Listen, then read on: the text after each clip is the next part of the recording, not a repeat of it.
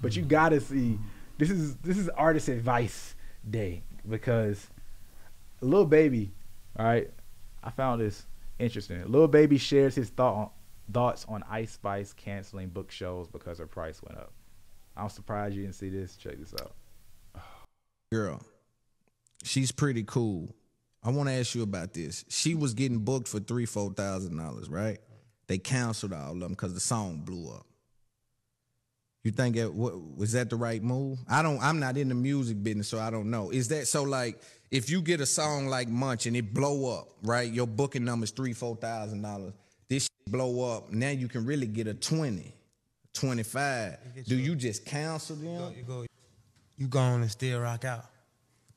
That's what I think. I what I would have. cancel the show. Right. We're going to rock out because it's still only one song. Right. We don't care how Powerful. big it is. Still only one song. Powerful. And you need them promoters. You need all, all that shit the same like the street. Right. One promoter tell the next promoter, the next promoter tell the next promoter. Right. Everybody know everybody. Now here's where the this way you be, get innovative at. If I were her, I would have said, you know what I'm gonna do? I'm gonna do this show for four thousand, but you got to give me two. the Munch girl. She Hey, hey, that was one of the most interesting clips I've seen in a while. First of all, I was actually kind of surprised that Lil Baby gave any kind of comment.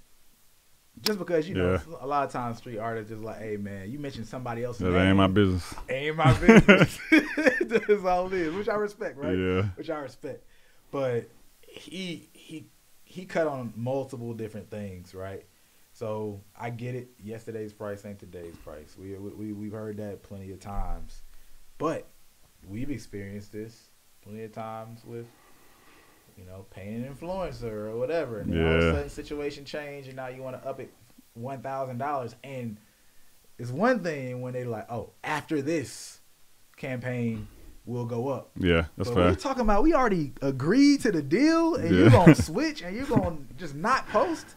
Sometimes we even send the money over, and you just and you're like, oh yeah, you can give us the rest of the money. No, no, no, no. Send us that mm-hmm. money back. We'll see you later. Like if you would have did it when we paid it, we would have caught you before that happened. Exactly. exactly. Because also it's like, hey man, look, and you're doing this especially on TikTok. It's like, bro, you're gonna be hot for a month. Yeah. Now you're not. And then you come back to us, hey y'all, y'all, y'all got some campaign work. You know what I mean? It's Yeah. like, hey man, keep your relationship. Just so, just like Lil Baby said, man. Like, one, it's the relationship that he alluded to. Period. Right. For, well, I'll say this. He alluded to the relationships of one promoter telling another promoter, which is a very real thing. Those people have relationships. You got to remember. Yeah, very especially small artists. Look, the people in the business often have been in the business for a minute Yeah. right? So they have relationships on relationships because that's how they stay in the business a lot of times, right? And so it's one, the one-off promoter, which is a line of revenue for you, Mhm. right? And then two, yeah, you could be killing multiple streams of income, not even realizing it because you screw one person over, and now people are just watching like, oh, is he gonna do me like that? I might take a chance on you, but it's a completely different energy. and Yeah. you have far less leeway. Like you don't want to, you don't want to take that away from you. And I get it. The bag is going up. We ain't seen money like this before. We trying to figure out how to make this money back, especially because I know a lot of that is driven by the managers. It's probably not just like Ice Spice saying that. Yeah. You know what I mean? Yeah. But you know, and maybe hey, their clout because I don't know much anything really about who's behind her like that. Um, you know, maybe they're like, hey, we're so good with where we are, we can do stuff like that and not care. Yeah, but then it also kills a lot of the like the core dynamics of being a new artist because it's like here are all these shows you got booked. I mean, we saw the the jokes about her Rolling Loud performance. You know what I'm saying? People comment on the fact that she's not a great performer. So like, I think it goes back to another conversation we had about is there other value in this opportunity outside of just the money that you might be getting? Because the value in that would have been like, hey, I ain't never practiced, I ain't never performed before, right? I, I haven't performed. Let me knock out three, four, five of these 4K shows before I have this Rolling Loud performance that's gonna basically put me on the big stage and people really gonna be looking at me, right? And then there's the like, I think it goes back to how smart the team is in terms of like, do they know what to do to flip that attention? Right. Um, because I don't know what that last guy was gonna say, but I'm pretty sure he's gonna say like maybe she should negotiate like a, a ticket split or something, like on, maybe a percentage of the, the door or something on top of whatever. So it's like that could have been an opportunity. They could have took it. That probably that would have been pretty fair Yeah. to like a, a, a respectable promoter. Um, could have fucking sold merch. So if you brought up more people than you thought you were gonna bring, they could have bought stuff from you. You Right. could have pushed these people to some online shit you got moving on. But then most importantly, it's like you are a new artist with a viral song. Like you, the most important thing for you at this stage is building relationships, not just with the the, the back end people, but with all these people that came to see you. Because all these people that are coming to see you are trying to decide, do I like this song enough and you enough to continue paying attention to you? Yep. And so it's like, I don't know. Let's say she had five shows for four thousand dollars. There's five opportunities to win over different people. You get a knockdown. I think she was asking like 20k. The, the rumors were she was asking like 20, 25k or something. So it's like, okay, now most of these promoters probably aren't going to pay that yet because you're not as proven. But let's say you, you know, let's say you get two, three of them, right? Um, that's two, three chances for you to win people over when you could have had 8, 10, 15, 20, you know what I'm saying? Whatever. And just Right. been just been knocking out and, and I think it's a like a long term mentality. And going back to what we say, bro, like as artists, like if you feel like you're not gonna be here for long, then yeah, go for it. You know what I'm saying? Get as much as you can get. Get Right now. See, this is where we go back to goodwill and the Yeah. confidence of having a career or not. Because when you have a feel like you're gonna have an extended career, you're more apt to build goodwill, which is I don't need to take every single dime off the table. Yeah. You know, it's like, all right, I leave a little bit on the table because I'm building and I'm gonna cash out bigger and bigger as I go.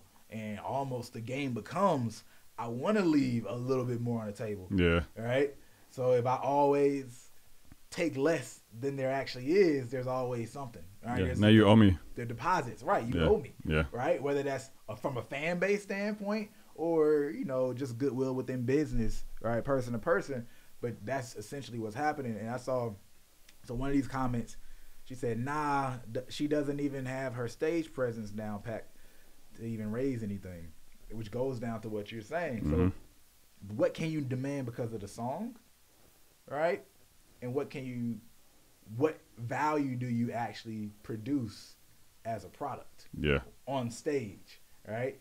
And it's one thing people feel differently about a bad performance on a 20k show than they do on a 1k show Yeah. and there's a couple people in in the you know out there little room it even feels different you can have a worse performance but still not feel as bad not bomb as bad and this is without me seeing any of her shows you know this is just based on the commentary and the conversation is more important to me right Yeah.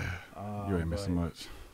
but like, people don't like practice bro Yeah, that's really that's really all that should have been. That was just practice, and I mean it goes back to, Paid to, to the uh, paid practice, bro. That's the most important part of it, and it goes back to the comedian thing you said earlier. But like comedians will go do comedy Yes. clubs with hundred people in it to get the joke right. So when they step on this, you know, what I'm saying, step on this stage with thirty thousand people in it, that shit is perfect. That shit is tight. Yep. I feel like it's only in music, bro. People like, man, I don't need to practice, man. I'm gonna, I'm gonna be all right, man. They came here because they think, which is still true to some degree, like, yo, they're here for me no matter what. And it's like, no, we are here to see you do a good job. we are not just here for you. We are here to see you ideally kill it, right? Yeah. So I can, I can say I have fun. I got some good memories, get some good pictures for the gram and shit. Yep. And it's like now, not now, now you just taking that away from me as a fan. You know what I'm saying? Like you just robbed me, robbed me of a good experience. But I don't know, man. I, I just think that like I always feel like the fan building aspect of a, a artist, well, the, an early artist career is the most important part than the money. Because like, look at how many artists we've seen nickel and diamond their way. You know what I'm saying? For three, four, five years, and on the sixth year, they just really blow the fuck up. You know what I'm saying? Then mm-hmm. they, then they getting, you know what I'm saying, quarter million to I don't know, maybe millions a show or something like that, depending on like how big they are. And that's a result of all the work they've been put in. And even those artists that don't make it that far can't demand a type of attention. They're still good two, three, five years beyond the moment happening because they took those small opportunities to make sure they were gonna be straight in the Right. future. You know? right Yeah. I want to talk about Kanye real quick. Yeah, you know, I know that's a touchy subject to talk about Kanye these days, but I think there's some important things to be said.